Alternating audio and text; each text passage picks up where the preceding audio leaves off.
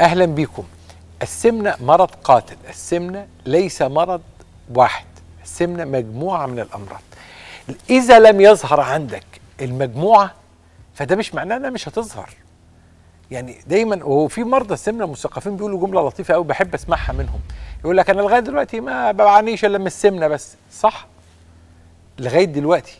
لكن ممكن فجأة تلاقي اتنين تلاتة بدأوا يظهروا تلاقي السكر بدأ يظهر الضغط بدأ يعلى تلاقي المفاصل بدأت تتأثر تلاقي الانزلاق بدأ يبان تلاقي مشاكل في المعدة تلاقي بقى بدأ الكبد يوجعك دهون تلاقي الكلى وظائفها بدأت تتأثر. دي كلها نقول عليها مصاحبات لمرضى السمنة. فخلي بالكم إنه عدم وجود الشلة مع بعضها اللي هي السمنه ومضاعفاتها والأمراض المصاحبة معاها ده مش معناها إن أنت يعني بالبلدي كده انت مش هتفضل محظوظ على طول. انت محظوظ كده. ان انت عندك سمنة ومعهاش حاجة. لكن ما تتوقعش ان انت تفضل محظوظ على طول.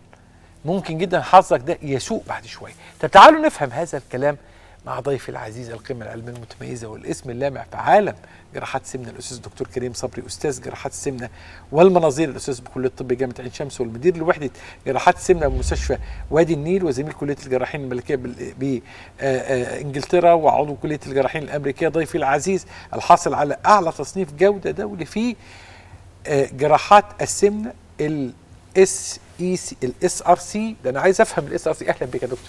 أهلا وسهلا. ازي حضرتك؟ يعني منورنا في الدكتور. الحقيقة. عايز أبدأ بحتة مهمة قوي. المشاكل الصحية اللي أنت شايفها. برضو 2021 أو تحكي لي كده بدأت تلاحظ إيه الاختلافات؟ ولا هو الأمور ثابتة؟ ال combo ثابت ضغط وسكر وإنزلاقات غضروفية ومشاكل تنفسية.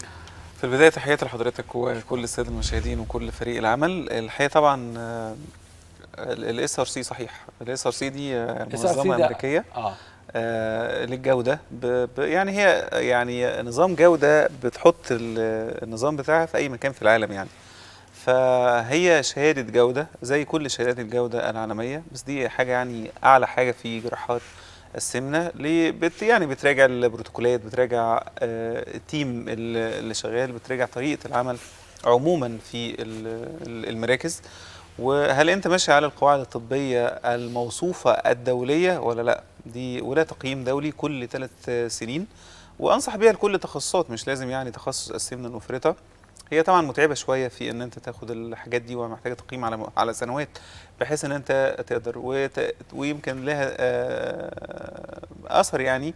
في ان الناس طالما أنت SRC accredited أنت على المستوى الدولي الأعلى في جراحات السمنة. السؤال الثاني اللي هو الاختلاف في آه، اللي حاصل الأيام دي في السمنة المفرطة هو بس ال awareness زاد. آه، معرفة الناس بقى بخطورة السمنة زاد. معدلاتنا في مصر في اجراء جراحات السمنة هو معدل عالي جدا بالنسبة للعالم. آه، عايز أقول كمان إنه مصر في مركز متقدم قوي في السمنة في السمنة في عدد العمليات فعلا دي لا حاجة هي نفسها في مرضى السمنة نفسها. ومرضى السمنة ما بين سن 20 ل 40 سنة هم إحنا من أعلى آه، يمكن من أول الدول ال- آه، في إصابة بالسمنة المفرطة تقريبا إحنا رقم واحد إحنا رقم واحد آه. من 20 ل 40 سنة آه إحنا إحنا هي- بننافس يعني في ثلاث دول بتنافسوا على المراكز إحنا الأولى. أعلى حاجة في إحنا وأمريكا وقطر بتهيألي أمريكا عندهم سن. الأطفال عموما آه. آه. الأعلى لكن طبعا إحنا السمنه المفرطه عندنا من 20 ل 40 سنة وده سن العمل. أنا شايف إن ده في منتهى الخطورة ومحتاج آه لكن ال- ال- اللي حاصل في السنوات الأخيرة إنه يعني لو قارنت النهارده بسبع ثمان سنين زمان لا النهارده الناس عندها اويرنس عالي. الناس بتعمل عمليات السمنه بصورة آه يعني آه أكتر عدد أكبر. آه، السن آه، اللي بيعمل عمليات السمنة ربما يكون في سن الأطفال اللي هم بعد 11 سنة اللي ما كنتش بتشوفها زمان. الناس المصابة بالسكر آه، بتعمل عمليات السمنة للسكر بس كعلاج كعملية تحويل مسار. أنا عندي السكر رايح أعمل عملية metabolic surgery دي الكلام ده ما كانش موجود برضو من سنوات. ال awareness زاد الناس ابتدت تستفيد من إجراء عمليات السمنة بصورة أكتر يعني. الوعي. الوعي زاد. طبعا يعني آه، في, في آه، زود ده إن الناس تتخلص من الأمراض المصاحبة للسمنة المفرطة ويمكن ده يعني impact ليه impact على آه، نتائج الإنجاب في ال- الفئة اللي هي المصابه بالسمنة أدى إلى برضو علاج بعض الأمراض المصاحبة للسمنة المفرطة زي الد- ال disc أو الغضروف المفاصل الصناعية. يعني برضو لاحظت إنه التخصصات المختلفة دلوقتي يقول أنا جاي من عند دكتور النساء عشان أنزل وزن عشان الإنجاب. اللي اللي جاي اللي هو مش هيقدر يركب مفصل أصلا صناعي على الوزن الكبير بيرجع وزنه للطبيعي عشان يقدر يستفيد أصلا من المفصل. آه، آه، والله يعني يمكن أنا عملت في خلال الشهرين اللي فاتوا دول ات- اتنين آه، آه، فشل كلوي آه، مزمن على dialysis على غسيل. آه، بيجهزوا نفسهم لل renal transplant ومش قادرين إن هم يزرعوا على الأوزان الضخمة. آه. زرع كلى وابتدينا نعملهم عشان ينزلوا وزنهم. أنا قصدي يعني دلوقتي التخصصات المختلفة من عظام من أعصاب دكاترة آه، أعصاب أو دكاترة حتى جراحة اعصاب لأنه مش هيقدر يشتغل على آه، disc في عيان وزنه 200 كيلو ولا 150 كيلو ولا أنا قصدي والركب آه، اللي تعبانة الدكاترة بيرجعوهم عشان يقدروا يركب مفصل صناعي. فطبعا ال awareness حتى زايد عند التخصصات المختلفة وبحس إن إحنا بنشتغل في يعني team working بصورة متكاملة يعني أكتر من زمان.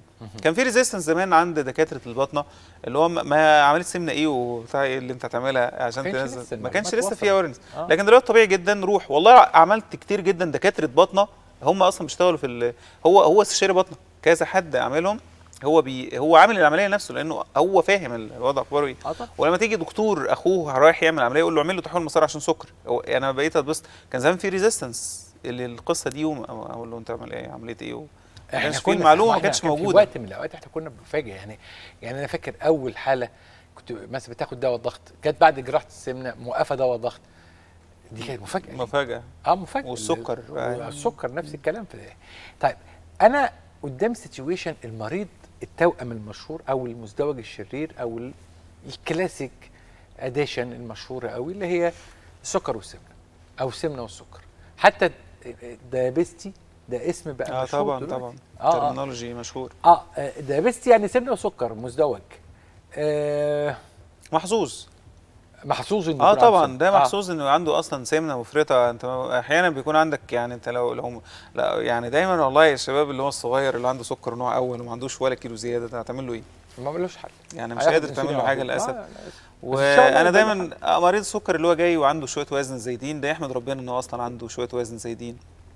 وبتنزل وزنك. وتحس إن ال... ال... ال... أنت عالجت استفدت من العملية كإنقاص وزن وخلصت من مرض عنيف قد يؤدي بالشبكية بتاعتك للهلاك يعني والكلى بتاعتك للفشل والأعصاب بتبقى مهزوزة.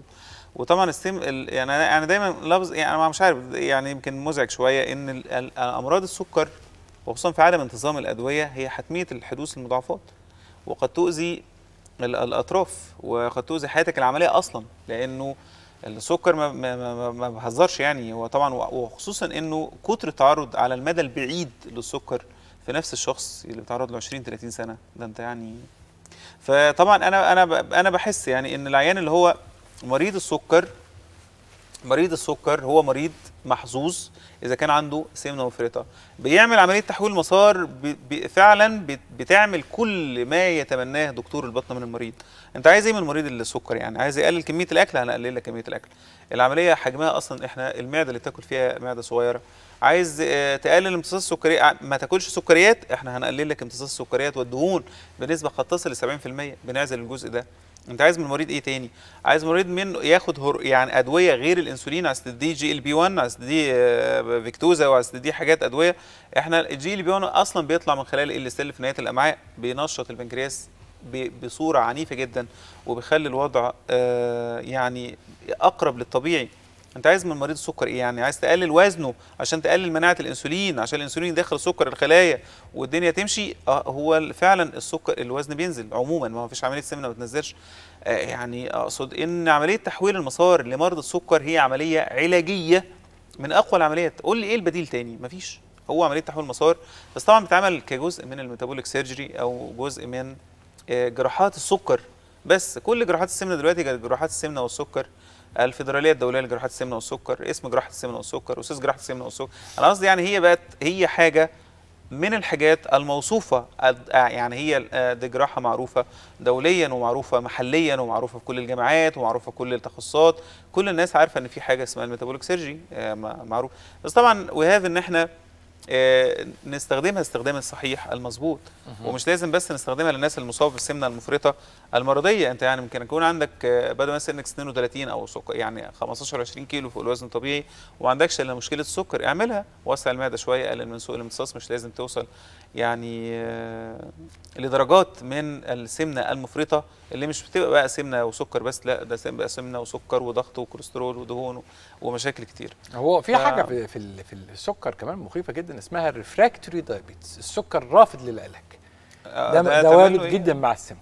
طبعا. وارد جدا مع السمنة. ال refractory diabetes ده شيء مزعج. السكر طبعا مع وحتى النوع الأول بيستفيد لو هيعمل عنده سمنة هيستفيد إنه هيقلل جرعات الإنسولين. كان عندي على فكرة عيانة قر- قريب جدا الأسبوع ده والله آه، آه، هي سنها كله آه، عند آه، بقى لها سكر مصاب بقى لها 17 سنة وسنها كله 35 سنة. آه. سكر نوع أول وماشي على إنسولين وديبندنت وسمنة مفرطة. دي محظوظة قوي حلو. هتتحسن. طب وأنا هي هتتحسن جدا. خلينا نوضح معلومة إن السكر من النوع الأول المصاب بالسمنة المفرطة دول قليلين أصلا مم. مش كتير. لأن هو معظم الناس أصلا عندها نحافة يعني في السكر من النوع الأول. مم. إحنا دايما بنتكلم على السكر من النوع الثاني العلاج لتحويل المسار. طب سكر من النوع الأول النسبة اللي عندهم سمنة مفرطه أنتم محظوظين. هتقلل جرعات الإنسولين لأقل درجة من الإنسولين وقفت حتى مضاعفات ال- السكر. ما, ما أنتش خايف أثناء الوجبات اللي أنت بتاكل ومحضر ال- ال- ال- ال- ال- السكر ال- ال- الإنسولين آه، سريع المفعول محضره جنبك وخايف من السكر يرفع وتختار لا يعني هتلاقي الدنيا انتظمت بعد تحويل المسار في السكر حتى من النوع الأول. لن تتوقف على العلاج أنا يعني أنا بس بفهم الناس الدنيا إن السكر النوع الأول لن تتوقف عن أخذ الإنسولين البنكرياس أصلا مش شغال وإحنا ما بنزرعش بنكرياس. إحنا بنعتمد على تقليل كمية ال ال الأكل تقليل الامتصاص آه، تقليل مناعة الإنسولين تنشيط البنكرياس عن طريق غير مباشر من خلال ال L cell و GLP 1 يعني قصدي في إحنا يعني استفادة قوية إذا كان هناك آه، وزن زائد مع السكر. هنتقل إلى تكميم المعدة. تكميم المعدة بعض مرضى. السكر بيتعملوا طبعا. آه. معلومة مهمة جدا. يعني برضو يعني في منطقة حاجة مفيدة جدا جدا للناس. سكرك من النوع الثاني بقالك خمس سنين ب- من الاصابه بالسكر يعني مش من بعيد بتاخد علاجات آه، إنسولين بجرعات قليلة أو بتاخد اقراص آه، بقالك شوية كفاءة البنكرياس بتاعتك كويسة ما تعمل آه، ما تعمل تكميم مش لازم تعمل تحويل مسار. هو التكميم على فكرة metabolic surgery عادية خالص. يعني السكر الخفيف أصلا عندنا scores كده للحاجات. السكر اللي بقاله أكتر من 10 سنين 15 سنة آه، غير السكر اللي بقاله خمس سنين وبياخد إقراص السكر اللي بياخد إنسولين بجرعات قليلة غير اللي بياخد إنسولين بجرعات عالية. الناس اللي حصل لها مضاعفات من السكر السن نفسه بحد ذاته. لكن عملية ال ال ال اللي هي ال- ال sleeve أو تكميم المعدة من العمليات ال metabolic أصلا. هي مدرجة من ضمن العمليات ال metabolic surgery العاديه يعني. يعني قصدي السكر الخفيف اعملوا ده. طب السكر الخفيف بناء عليه يعني؟ ما هو بناء على السن وكميات ال scoring system اللي إحنا بنحط أو ال scoring scale اللي إحنا بنحط العين عليه بيقول والله انت ممكن تستفيد من تكميم المعدة وتعالج السكر كمان الخفيف. السكر العنيف اعمل تحويل مسار آه، أفيد. في موقف مشهور آه، إنه عيان بياخد إنسولين سكره من النوع الثاني وبياخد جرعات عالية من الإنسولين ومش عايز تعمل تحويل مسار. أنا ما بحبش تحويل مسار. خلاص اعمل تكميم واستفيد منها على على وضعها كده. ما انتش لازم يعني تعمل تحويل مسار يعني مش حكم ان انت تعمل تحويل مسار. طالما لم يوجد مانع لإجراء عملية تكميم أو عملية تحويل انت يعني تقدر تعمل الحاجتين. بس تبقى عارف قد إيه هتستفيد من دي وقد إيه هتستفيد من دي. لكن مش حكم يعني إحنا نحط نعمل لك العملية اللي ال- ال- ال- التحويل مسار في كل الحالات. في تخ... يعني برضو لما الناس بدأت تفهم قوي بدأت تظهر تخوفات.